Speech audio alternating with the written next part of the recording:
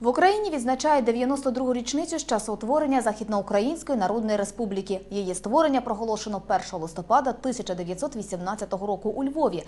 Народження ЗУНРу відбувалося у час розпаду Габсбурзької монархії. До складу новоутвореної Української Республіки увійшли землі колишньої Австро-Угорської імперії – Східна Галіція, Буковина і Закарпаття.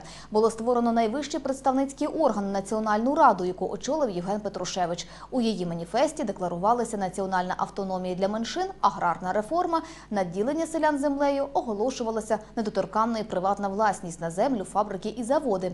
Більше про історичні факти створення Західноукраїнської Народної Республіки та її роль у становленні української держави далі у сюжеті. Саме у Львові в ніч із 31 жовтня на 1 листопада група січових стрільців на чолі з Дмитром Вітовським захопили пошту, телеграф та інші стратегічно важливі об'єкти. Вранці мешканці міста побачили над ратушею синьо-жовтий прапор. Уряд ЗУНР очолив Кость Левицький, давній борець за волю України. Але держава, кажуть історики, від самого початку була приречена. Поляки вже у перші дні листопада розпочали військові дії проти українців. Таким був початок одного з найсумніших періодів історії Галичини польсько-української війни, яка закінчилася поразкою української галицької армії. Вже 4 листопада у Львові розгорнувся збройний виступ польських легіонерів. Все це примусило уряд в грудні тікати до Тернополя, а незабаром в Станіславів.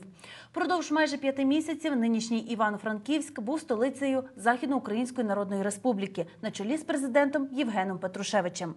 Власне, вчені переконані, що саме у нашому місті було здійснено перші послідовні спроби створити діючий уряд і ефективну армію.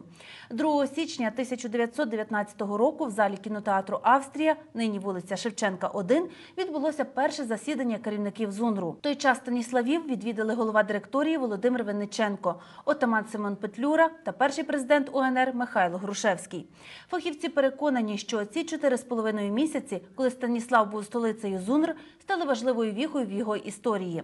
Адже в той час пожвавилося громадсько-політичне і культурно-освітнє життя та проводилась українізація навчальних закладів. За відносно короткий період свого існування ЗУНР дала чимало прикладів національної солідарності та розуміння загальнодержавних українських інтересів.